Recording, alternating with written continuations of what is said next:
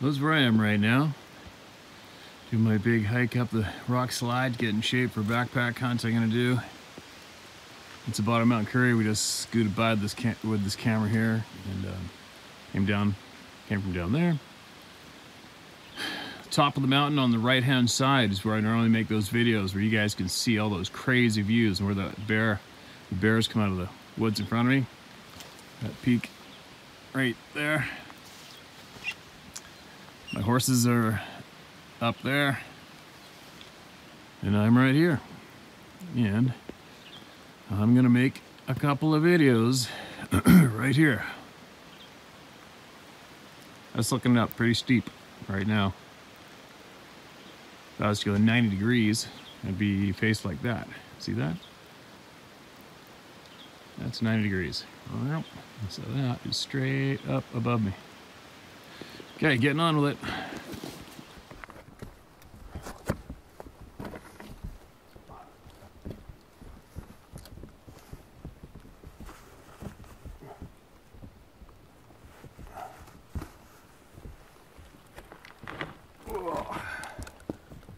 Okay, gonna share. Whoop.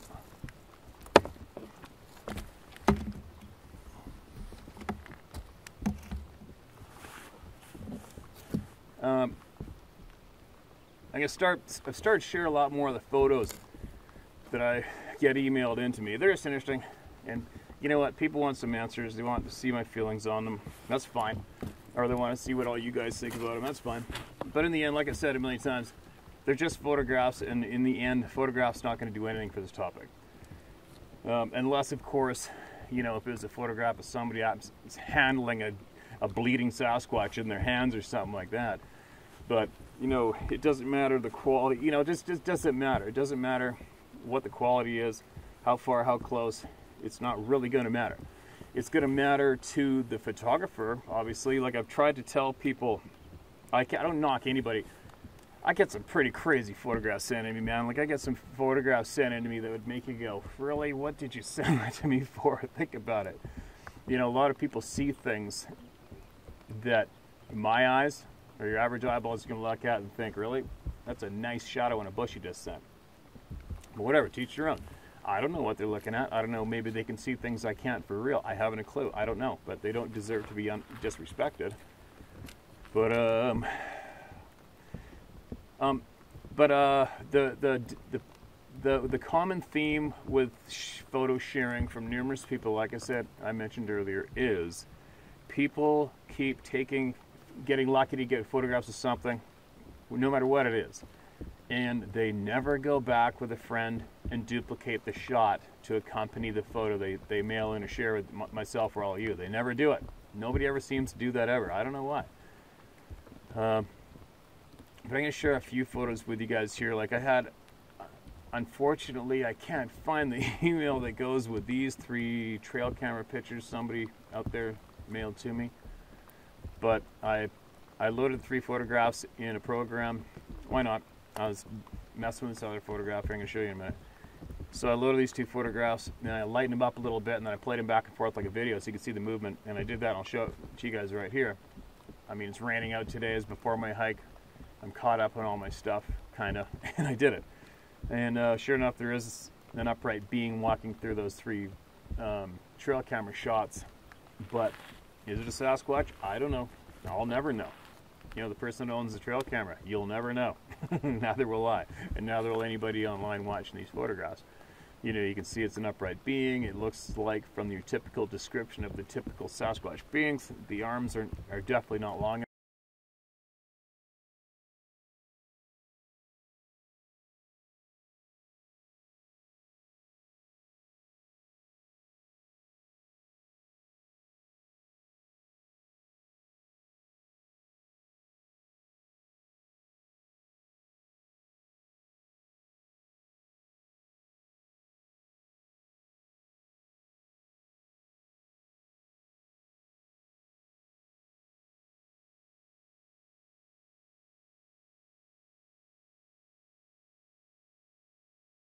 enough on that being in the photo. So who knows? I don't know. But um, but I did take a look at the photograph for the out of respect for the person that mailed it to me. Unfortunately, I can't find the email that went with it. Sorry, apologize.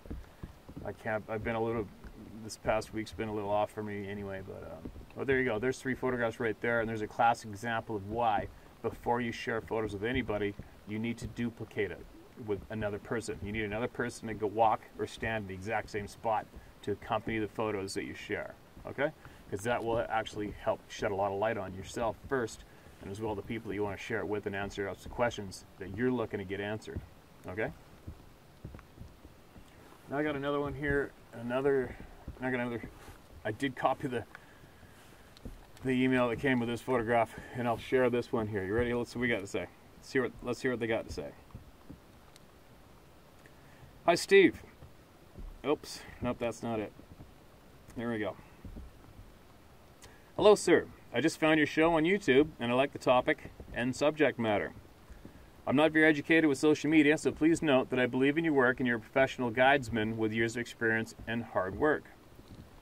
I contacted the BFRO three nights ago. M, the founder, okay, I contacted the, ugh, the BF, you know what, oh, three nights ago. Matt, the founder, emailed, Matt, the founder, emailed Memorial Day. I sent him the photo my stepmother took in Northern California where they live, and I haven't heard back from them. He told me he would give me his opinion, but hasn't so far, and after watching your channel, it doesn't sound like they're a legitimately reputable company. No, they aren't. Especially that sack of crap. It made me nervous for the safety of my parents. Rightfully so. All I'm asking is for someone who's experienced to take a look at the photo and help me decide if it's a black bear or Sasquatch. And if you'd be so kind to send me a return email with your professional opinion of what it maybe is. She didn't notice anything on her hike at the moment. We regularly text nature photos back and forth. When I received her photo, I called to point out creature. Oh my god, I can see it! It's more prevalent to view the photo in a darker environment and to zoom bottom center right of the pine cedar approximately 30 yards on the front left of the dog. It's very black and big, looking towards them, and I can see a face when zoomed in. I would think, being New Year's Day 2020, bears are hibernating for the winter. Thank you for sharing with me your opinion. You can text me, call me, or return email, whichever is most convenient and time saving for you. All right. I did email you back. I hope you got it. And I think I stressed to you too, you know, that that, that photograph is going to be of more importance to, to the photographer themselves and you than anybody else. And by the looks of that, I mean that those hills look like my backyard. And from what you can tell in that photograph, you look straight to the left, you can see how steep it is.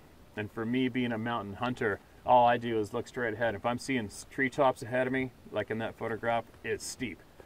So it's safe to say it's steep, and whatever the black object is, it can be rest assured that that thing is at least 10 feet tall by the distance it is from the edge of the road, how far it comes up in view, and if you look to the left, how steep that ground is. Holy shit. Whoever, uh, whoever, whatever that thing is, has definitely got some size to it, right? So here's a couple of examples of that photograph that was sent to me, and I lightened up myself and zoomed in on it just for the hell of it. Could be a face in there. Um, obviously, we'll never know. And but you know, and I, as I me- emailed back to the, to the person with the photograph um, to duplicate that photo, I don't even know if you're going to find anybody tall enough to duplicate that that being, whatever that is in that photograph. I mean, who knows? Maybe you'll go back there and it'll still be there. it's actually a fuzzy stump. Probably not, though, right? But the key is, for this photo specifically, you have to go back there and you have to recreate that photograph. Um, put your stepmother in the exact same footprints, exact same camera, and go and stand and take take photographs individual as you back away. Like, you know, go back over the edge of the road, go back three feet, take a picture, go back three feet, take a picture, just keep going back until you get the same distance away from the camera as that object, and snap away and then compare it later, right? It might, if it's not there, and you do do that, you're probably going to end up getting freaked out a little bit. but, anyway, there you go. There's a couple of items I shared with all of you. They were shared with me to share with you.